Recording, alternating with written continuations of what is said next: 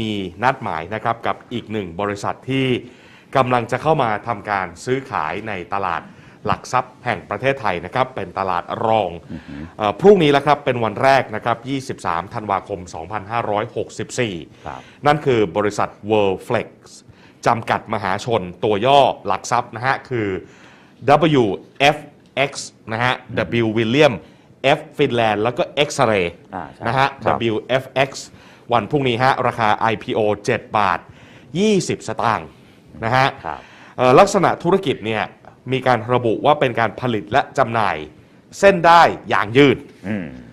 นะฮะเดี๋ยวเราจะมาขยายความกันสักหน่อยนะฮะครับธุรกิจผลิตและจำหน่ายเส้นได้อย่างยืดเนี่ยเป็นอย่างไรอืมมีโมเดลธุรกิจเป็นเช่นไรครับนะฮะและแนวโน้มของธุรกิจนี้เนี่ยจะเติบโต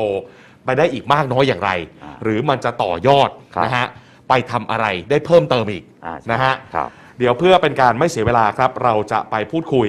กับคุณนัทวงศาสุทธิกุล กรรมการผู้จัดการบริษัท Worldflex จำกัดมหาชนหรือว่า WFX นะครับขณะนี้อยู่ในสายแล้วสวัสดีครับ คุณนัทครับสวัสดีครับผมครับ สวัสดีครับ อ่าครับคุณสวัสดีครับ ครับ สวัสดีนะครับ ก็ขออนุญาตเริ่มต้นเช่นนี้ฮะ คุณนัท เอ่อธุรกิจครับผลิตและจำหน่ายเส้นได้อย่างยืดนี่ขยายความให้ฟังสักหน่อย เป็นอย่างไรโมเดลธุรกิจเป็นเช่นไร และโครงสร้างรายได้ครับ เป็นอย่างไรบ้าง ครับผมของเรานะครับบริษัท w o r l f e x เรานะฮะดำเนินธุรกิจผลิตเส้นได้ยางยืดนะครับครับสองประเภทได้แก่ชนิดเคลือบแป้งและเคลือบซิลิโคนนะครับ อือหือซึ่งผมก็เชื่อว่าทุกท่านตอนนี้ยังไม่ค่อยรู้จักเกี่ยวกับยางยืดดีเท่าไหร่นะฮะมันจะเหมือนยาง ยางวงยางหนังสติ๊กทั่วไปหรือเปล่านะฮะอืมครับ แต่จริง ๆ มันไม่ใช่อย่างนั้นเลยนะฮะของเราเนี่ยผลิตมาจากน้ำยางนะครับ ครับ ซึ่งตรงเนี้ยคุณสมบัติของยางเราจะยืดมากกว่า พวกยางวงนะครับ แล้วก็ครับสามารถใช้ได้ในหลากหลายอุตสาหกรรมมากกว่านะครับ เช่นอือหือในส่วนของยางยืดเบอร์ใหญ่ก็จะไปไปในส่วนของอุตสาหกรรมเฟอร์นิเจอร์อืมยางยืดเบอร์มาตรฐาน ก็ไปในส่วนของยางยืดขอบกางเกงครับยางยืดขนาดกลางก็ไปในส่วนพวกของถุงมือผ้าอือหือพวกชุดชั้นในนะครับ แล้วก็ไซส์เล็กนะฮะยางยืดไซส์เล็กก็จะเป็นพวก premium grade เลยนะก็จะในส่วนของพวกถุงเท้านะครับ แล้วก็พวกผ้าพันแก้เคล็ดนะครับอืมอ๋อครับโอเคก็ที่บอกเป็เรีนยกว่า อยู่ในหนึ่งไปหนึ่งในปัจจัยสี่นะครับคือพวกเครื่องนุ่งห่มที่ทุกคนจำเป็นต้องมีเลยครับ อืมอืมเส้นด้ายยางยืดนี่คือมันก็มีหลายประเภทใช้ได้กับหลายผลิตภัณฑ์ ตั้งแต่เฟอร์นิเจอร์มาจนถึงถุงเท้าเลย ถูกต้องไหมฮะใช่ครับอ๋อโอเคโอเค เริ่มเห็นภาพเอ่อโครงสร้างรายได้สักนิดหนึ่งฮะอย่างยืดแต่ละประเภทเป็นอย่างไร ครับผม ก็สัดส่วนที่เรากระจายกันไปนะครับ เนื่องจากว่าของ RT ก็เรามี4 segment นะฮะก็คือขนาดใหญ่มาตรฐานกลางและเล็กนะครับครับ segment ขนาดใหญ่เนี่ยอยู่ประมาณ 10-15%ถึง15เปอร์เซ็นต์นะครับครับส่วนมาตรฐานเนี่ยจะเป็นพวกทำพวกขอบกางเกงนะฮะพวกเนี้ยจะอยู่ประมาณ 60%ของเราเลยนะครับ อืมครับ แล้วก็ขนาดกลางขนาดเล็กรวมกันนะฮะจะเป็นอยู่ประมาณ 30%ของเรา สัดส่วนรายได้ของเรานะครับ เราส่งออก 98%นะครับเป็นการส่งออกไปทั่วโลกนะฮะครับแล้วก็อีก 2%เป็นการขายในประเทศนะครับ อืม ที่ที่เราส่งออกไป90% 98%นะครับ ประมาณ 75%ของเราจะไปอยู่ที่เมืองจีน แล้วก็อีกสัก 10 ถึง 15เอ่อ15%จะอยู่ในส่วนของโซนเอเชียนะครับ และที่เหลือก็จะเป็นโซนยุโรปอเมริกาใต้ครับอืมนะครับเอ๊ะที่ไปอย่างที่จีนเนี่ยที่ 75%เนี่ยส่วนใหญ่ก็คือไปในเอ่อเกี่ยวข้องกับอุตสาหกรรมที่เกี่ยวข้องกับเครื่องนุ่งห่มอะไรประมาณนั้นหรือเปล่าฮะ อ่าไปครบวงจรเลยครับคือนุ่งห่มก็เป็นหลักอย่างที่ผมเรียนให้ทราบว่ามันหกประมาณหกสิบเปอร์เซ็นต์ใช่ไหมฮะอือหือเมืองจีนเนี่ยเขาเป็นเมืองอุตสาหกรรม garment ใหญ่ของโลกเลยฮะอืม เขามีหลาย segment มากเลยโลกเมืองจีนเขาก็ผลิตโซฟาเองนะฮะครับผลิตโซฟาซึ่ง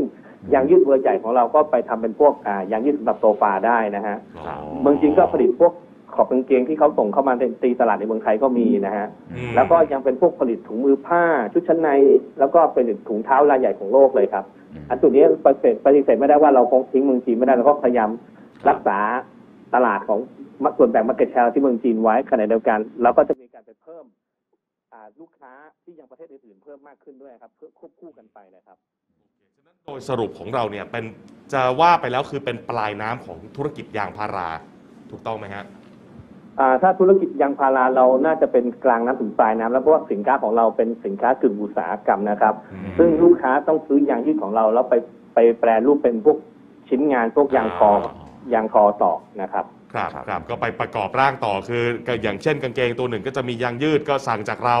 เอ่อซิปก็สั่งจากอีกเจ้าหนึ่งตะขอสั่งจากอีกเจ้าหนึ่งอะไรอย่างเงี้ยนะฮะใช่เลยครับใช่เลยครับผมอืมโอเคครับคุณนัททีนี้ผมเห็นตัวเลขที่น่าสนใจตัวหนึ่งฮะเอ่อครับ net profit margin คือย้อนกลับไปดูเนี่ยปี 2562เอ่อมันครับอยู่ในระดับที่ค่อนข้างจะต่ำเลยนะฮะ เพียง 0.38%เอ่อปี ครับ 63 ขยับมาเป็น 2.4% 9 เดือนแรกของปีนี้ฮะ โตแบบก้าวกระโดดมาอยู่ที่ 7.27%เกิดอะไรขึ้น ครับเกิดอะไรขึ้นเดี๋ยวต้องอนุญาตขออนุญาตเท้าความไปของปี 62 ที่ว่าครับ มาจิ้นเราเหลืออยู่ 0.38 นะครับ อือฮึ ปีนั้นน่ะ ยอดขายเราไม่ได้ตกนะ ยอดขายเราเพิ่มขึ้นมากกว่าปี 61 ด้วยซ้ำนะครับอืมเพียงแต่ว่าอ่ามาจิ้นที่เราตกลงไปเนื่องจากว่าปีนั้นมันมีเทรดวอร์มันมีอ๋อสงครามการค้าระหว่างจีนกับอเมริกานะฮะทำให้ครับค่าเงินบาทผัวนแล้วก็อ่าเราจำเป็นต้องลดมาจิ้นเราเพื่อช่วยให้ลูกค้าเราอยู่รอดได้ครับอืมนะครับอ๋อแต่ว่าพอปี 63 ทุกอย่างมันฟื้นกลับมาจีนก็ฟื้นกลับมาเร็วกว่าเพื่อนนะฮะครับและกลุ่มเราเราก็ส่งออกจีนเป็นประมาณสักเจ็ดสิบกว่าเปอร์เซ็นต์อยู่แล้ว ตัวนี้พอจีนรีคา v ว r y กลับมาครับ มาจิ้นเรายอดขายเราทุกอย่างก็เติบโตขึ้นมาครับ ตามแผนกลยุทธ์ที่เราได้เตรียมไว้นะฮะครับอืมเพื่อว่าเรามีการมุ่งเน้นพวกของ end user เพิ่มมากขึ้น แล้วก็ประกอบกับว่าเรามีการเพิ่มกำลังการผลิตของเราทำให้เราสามารถขายสินค้าได้หลากหลายมากขึ้น เราสามารถเลือกสินค้าเซกเมนต์ที่มันมีมาจิ้นสูงนะฮะครับทำให้ปี 63กำไรมันเพิ่มสูงขึ้นกว่าปี 62 แล้วก็พอมาที่มีนัยสำคัญเลยคือ 9 เดือนแรกของปีนี้ครับครับ ที่เราเติบโตขึ้นมาเยอะขนาดนี้เนื่องจากว่ามันเป็นการเช็คออฟแล้วครับอือฮึที่อืมประกอบกับว่าโรงงานเราเพิ่มกำลังการเป็นเพิ่มขึ้นอีกนะฮะ utilization 95%แล้วด้วยครับทำให้เราสามารถมีสินค้าขายได้หลากหลายมากขึ้น มีการผลิตมากขึ้น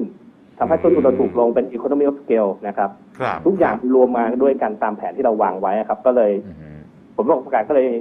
ดีอย่างที่เห็นนะครับครับครับผมถามเชิงสรุปอีกสักครั้งคือปี 62 เนี่ย จะว่าไปแล้วเรียกมันว่าเป็นวิกฤตได้ 63 นี่เริ่มฟื้นตัวถูกต้องไหมฮะ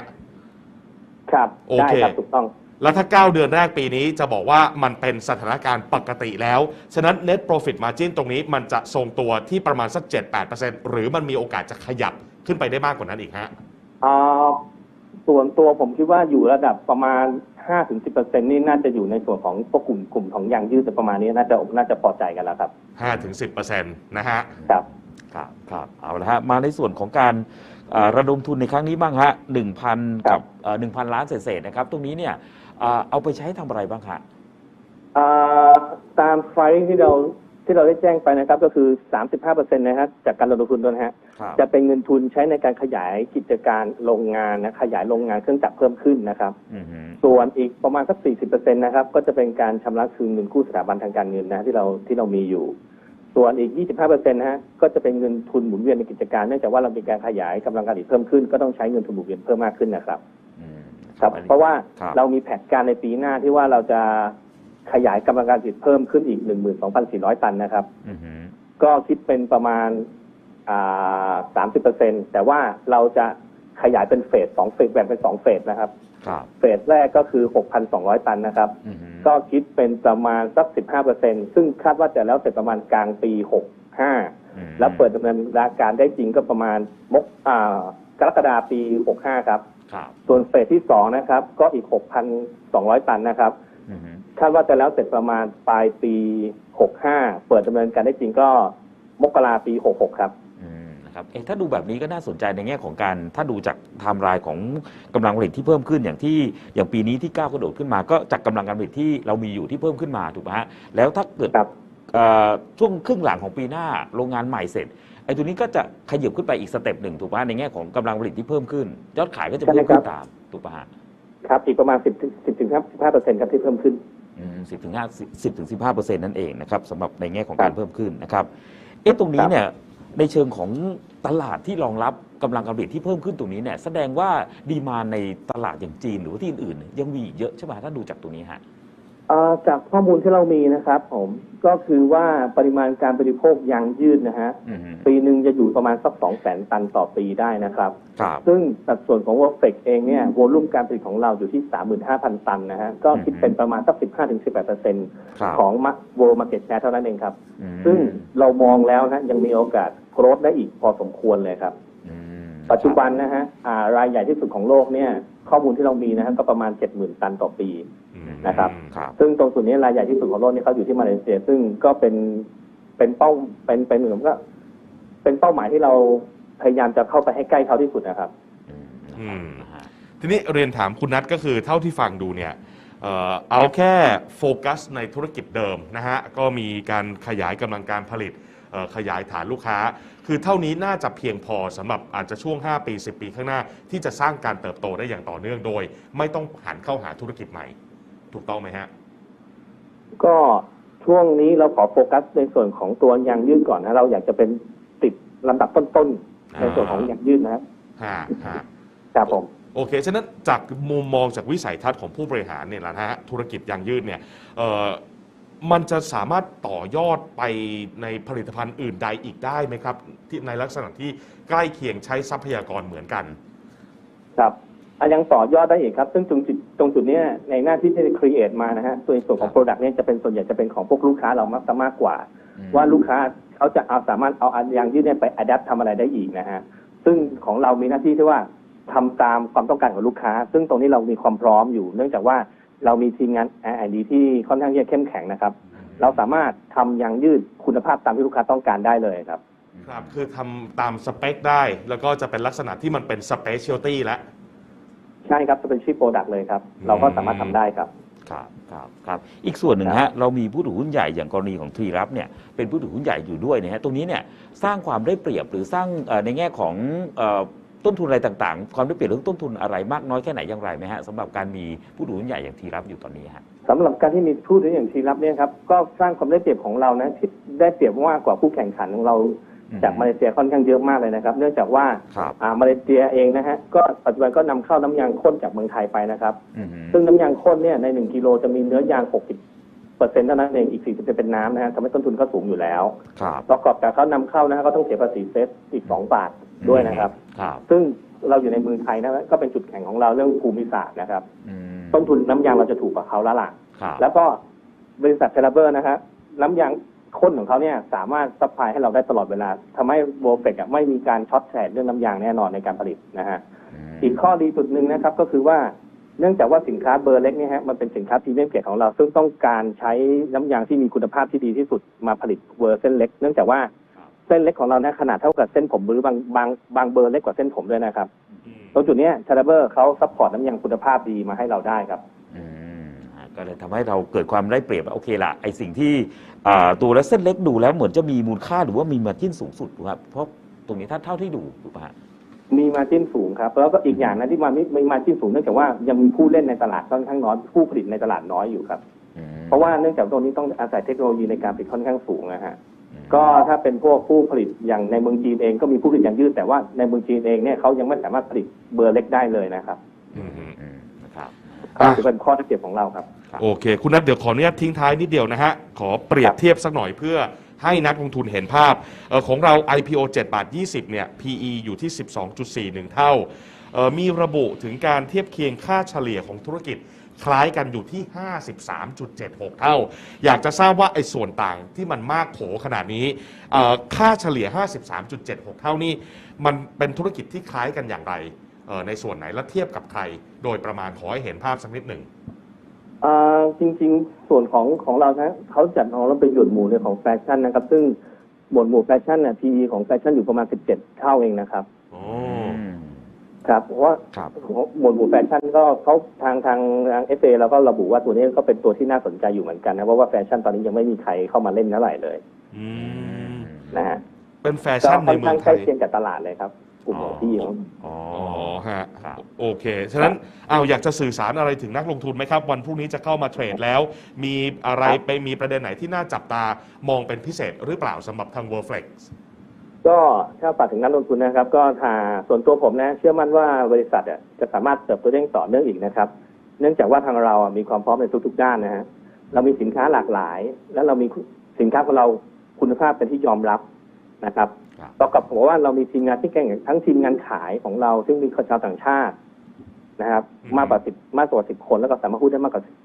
พูดได้มากกว่าสิบภาษานะครับครับ แล้วก็มีทีมงานความเป็นที่มีความเชี่ยวชาญนะฮะเราเชื่อมั่นเลยว่าเราสามารถทำผลประกอบการได้ดีนะครับ และจะสามารถรักษาผลกำไรได้อย่างต่อเนื่องและยั่งยืนครับ ที่จะทิ้งท้ายถึงนักลงทุนเลยนะ ก็คือว่ากลุ่มผู้ถือหุ้นรายใหญ่นะครับ ก็ไม่มีการขายหุ้นออกมาแน่นอนนะครับอือ่า อันนี้เป็นฝากทิ้งท้ายถึงนักลงทุนเลยครับนะฮะก็ถือมายังไงก็ยังถืออยู่เช่นนั้นนะฮะเป็นใช่ครับการลงทุนระยะยาว อืมครับเอาละครับ คุณนัทขอบพระคุณมากวันพรุ่งนี้ครับขอให้ผมโชคดีนะครับ สวัสดีครับ ขอบคุณมากมากๆครับผมครับ ขอบคุณมากครับ สวัสดีครับ ครับ สวัสดีครับนะฮะ คุณนัทวงศาสุทธิกุลครับ กรรมการผู้จัดการของทาง Worldflex นะฮะ ตัวย่อหลักทรัพย์คือ WFX วันพรุ่งนี้วันแรกคุณสุภชัยฮะ ในครับตลาดหลักทรัพย์แห่งประเทศไทยด้วยราคา IPO อือฮึ7บาท 20 สตางค์อ่านะครับแล้วน่าสนใจฮะ สินค้าของเขาดูตอนแรกก็เอ๊ะคืออะไร จริงๆ อยู่กับตัวเรานี่นะนะอืมแต่กางเกงอะไรต่างๆ ยืดๆเนี่ยทั้งนั้นเลยนะอันนี้ผสมตรงนี้นั่นเองนะครับคือถ้าเป็นสำหรับกางเกงนี่ อ่าฮะ จากข้อมูลเมื่อครู่เขาบอกต้องใช้ครับ ยางยืดไซส์มาตรฐาน อ่าใช่มาตรฐานซึ่งตรงนี้เนี่ยเป็นโครงสร้างรายได้หลักเลยคือประมาณสัก 60%อ่าใช่ของทาง World Flex ครับ นะฮะคือถ้ากางเกงนี่จะเป็นไซส์มาตรฐาน อืม แต่ของผมนี่อาจจะต้องไปใช้ไซส์ใหญ่อะคือเอาของโซฟามาใส่กางเกง เอาประมาณนั้นอย่างยืดโซฟานึกภาพออกไหมฮะคุณสุภชัย อ่าใช่ก็เราได้เห็นเวลานั่งแล้วยวบลงไปประมาณนั้น ก็คือตรงเบาะรองถูกไหมฮะอ่าใช่ที่มันจะมีขอบเนี่ย อืม ตรงนั้นแหละคือยางยืด อ่าใช่นะครับนะฮะ อะโอเคนะฮะก็ประมาณนั้นประมาณนั้นวันพรุ่งนี้ติดตามดูผลงานนะฮะ WFX